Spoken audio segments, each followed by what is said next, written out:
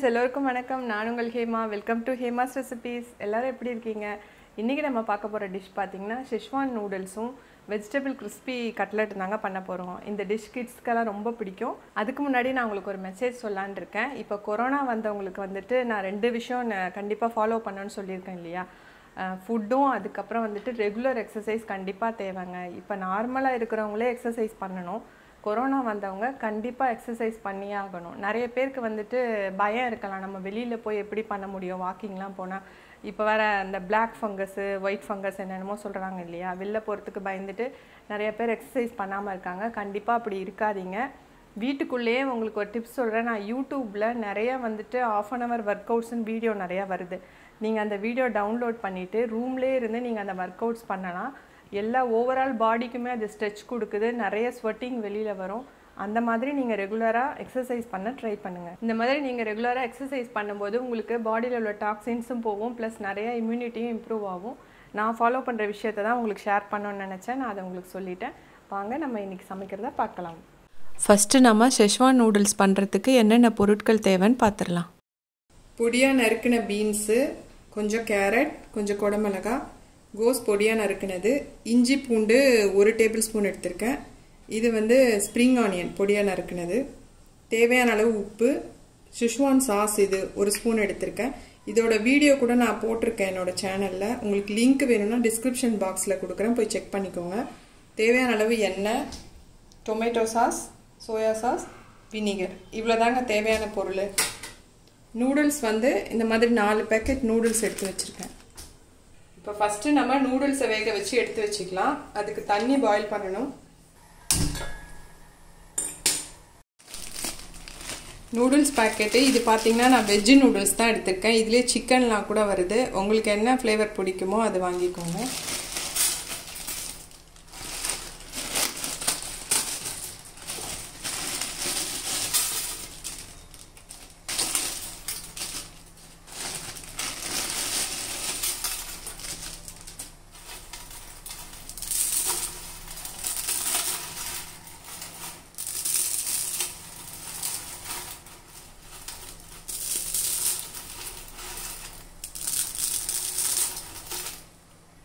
இதில் கொஞ்சமாக எண்ணெய் ஊற்றிக்கலாம். சால்ட் கொஞ்சம் ஆட் பண்ணிக்கலாம். இப்போ நம்ம எடுத்து வச்சிருந்த நூடுல்ஸை இதில் போட்டுடலாம்.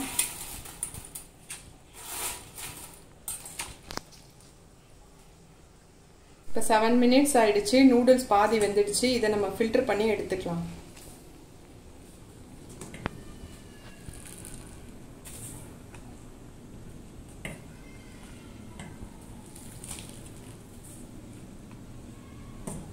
ஃபில்டர் பண்ணி எடுத்த நூடுல்ஸை நம்ம பச்சை தண்ணியில் போட்டு எடுத்துக்கலாம்.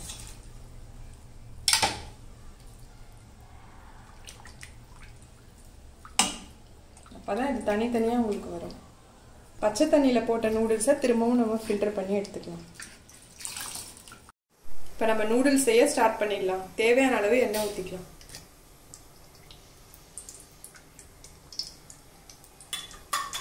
நறுக்கி வச்சிருந்த இஞ்சி பூண்டு சேர்த்துக்கலாம்.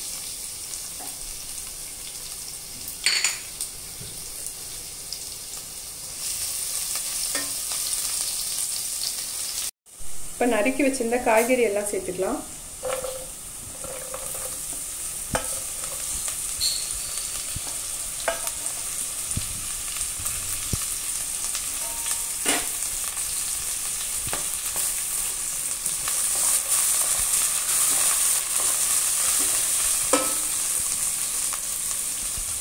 கேபேஜ்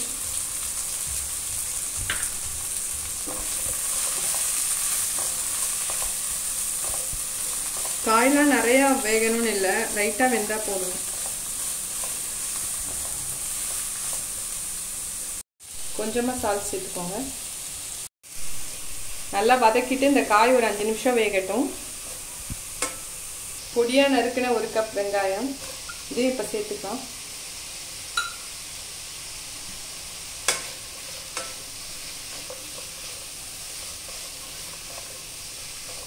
காய் கொஞ்சம் வதங்கிடுச்சு. இப்போ நம்ம சாஸ் எல்லாம் சேர்த்துக்கலாம். ஷெஷ்வான் சாஸ் ஒரு spoon spoon vinegar soya sauce ஒரு ஸ்பூன் டொமேட்டோ கெச்சப் ஒரு ஸ்பூன் தேவையான அளவு சால்ட் சேர்த்துக்கோங்க. நான் இதில் வந்து அஜினமோட்டோ எதுவும் சேர்க்கலை. உங்களுக்கு சேர்க்கணும்னு இருந்தால் கொஞ்சமாக சேர்த்துக்கோங்க அஜினமோட்டோ இதெல்லாம் நல்லா கலந்து விட்டு இன்னொரு அஞ்சு நிமிஷம் இருக்கட்டும். ஃபைவ் மினிட்ஸ் ஆயிடுச்சு இப்போ நம்ம நூடுல்ஸ் ஆட் பண்ணிக்கலாம்.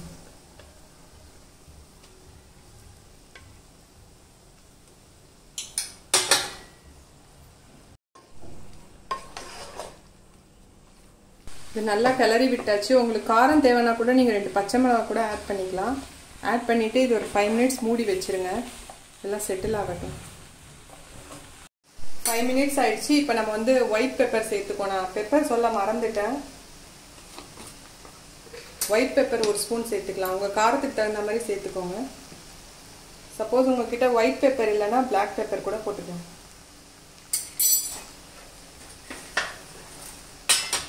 இப்போ ஃபைனலாக ஸ்ப்ரிங் ஆனியன் போட்டு எல்லாம் சேர்த்து நல்லா கிளறி விட்டுருங்க. ஒரு த்ரீ மினிட்ஸ் இருக்கட்டும் ரெடி ஆயிடும்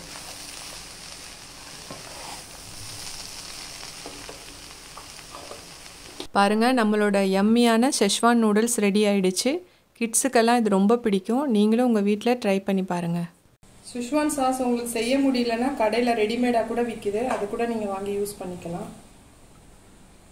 ரொம்ப ஈஸி தாங்க இது. மொத்தம் ப்ரிப்பரேஷன் டைமே ஃபிஃப்டீன் மினிட்ஸில் இது ரெடி பண்ணிடலாம். நீங்களும் ட்ரை பண்ணி பார்த்துட்டு கமெண்ட்ஸை கமெண்ட்ஸ் பாக்ஸில் பதிவு பண்ணுங்கள் இப்போ நம்ம வெஜிடபிள் கட்லட் பண்ண ஸ்டார்ட் பண்ணிடலாம். அதுக்கு ஃபஸ்ட்டு நான் ஒரு ஒரு நாலு உருளைக்கிழங்கு எடுத்து வேக வச்சு வச்சுருக்கேன். அதை போட்டுக்கலாம். கட் பண்ணி பொடியாக கட் பண்ண கேரட் பீன்ஸ் கோஸ். இஞ்சி பூண்டு பொடியாக நறுக்கினது. கொத்தமல்லி பொடியாக நறுக்கினது.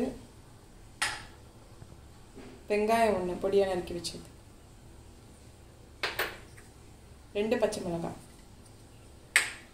என்கிட்ட இருக்க காய்கறி தான் சேர்த்துருக்கேன். உங்களுக்கு என்ன காய்கறி விருப்பமோ அதை போட்டு நீங்கள் கட்லெட் பண்ணலாம். பட்டாணி கூட சேர்க்கலாம். இப்போ என்கிட்ட இல்லை. அதனால இருக்க காய்கறி வச்சு பண்ணுறேன் பொடி வகைகள் என்னென்னு பார்க்கலாம். அரை ஸ்பூன் ஜீரக பவுடர் அரை ஸ்பூன் மிளகாத்தூள்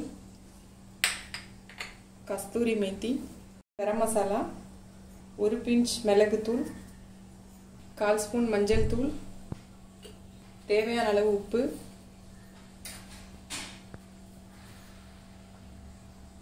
ஒன்றரை ஸ்பூன் சோள மாவு பொடி.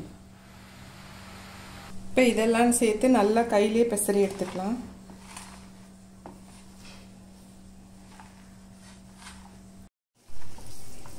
பாருங்கள் இது நல்லா கலந்து எடுத்தாச்சு. இப்போ நம்ம என்ன ஷேப்பில் வேணுமோ அந்த ஷேப்பில் இதை எடுத்துக்கலாம்.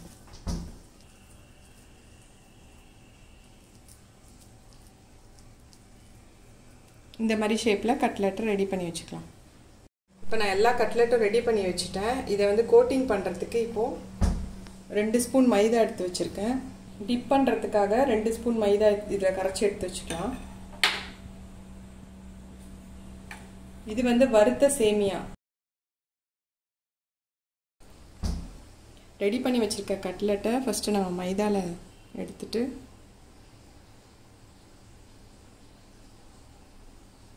இதில் டிப் பண்ணிப்போம். சேமியாவில் கோட் பண்ணிவிட்டு எடுத்து வச்சிடலாம். கட்லெட் ரெடி பண்ணி வச்சுட்டேன். இதை நம்ம ஒரு பத்து நிமிஷம் ஃப்ரிட்ஜில் வச்சுட்டு எடுக்கலாம் ஃப்ரை பண்ணுறதுக்கு கட்லெட்டை டென் மினிட்ஸ் எடுத்து வச்சுருந்தேன் ஃப்ரிட்ஜில் இப்போ எடுத்திருக்கேன் ஃப்ரை பண்ணுறதுக்காக எண்ணெய் சூடாயிட்ருக்கு எண்ணெய் லைட்டாக சூடாயிடுச்சு. ஹை ஃப்ளேமில் வைக்க வேண்டாம். லோ ஃப்ளேம்லேயே வைக்காதீங்க. மீடியமில் வச்சுக்கோங்க. இப்போ நம்ம இதை போட்டு பொறிச்சு எடுத்துருவோம்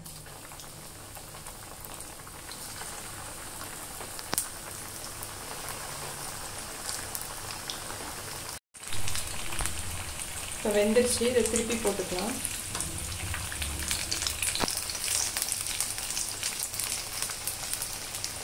ஹை ஃப்ளேம் வச்சிங்கன்னா ரொம்ப கருகிடும் லோவாக வச்சிங்கன்னா திரிஞ்சு போயிடும். மீடியமில் வச்சு பொறுமையாக வறுத்தெடுக்கணும்.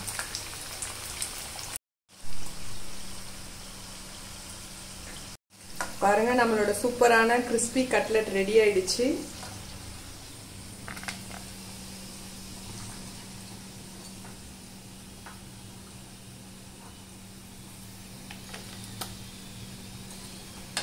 பாருங்கள் நம்மளோட கிறிஸ்பியான வெஜிடபிள் கட்லெட் ரெடி ஆயிடுச்சு. நான் வந்து இதில் சேமியா யூஸ் பண்ணியிருக்கேன். நீங்கள் பிரெட் க்ரம்ஸ் கூட யூஸ் பண்ணிக்கலாம் கோட்டிங் பண்ணுறதுக்கு பாருங்கள் எவ்வளோ சூப்பராக வந்திருக்குன்னு பாருங்கள் கிறிஸ்பாக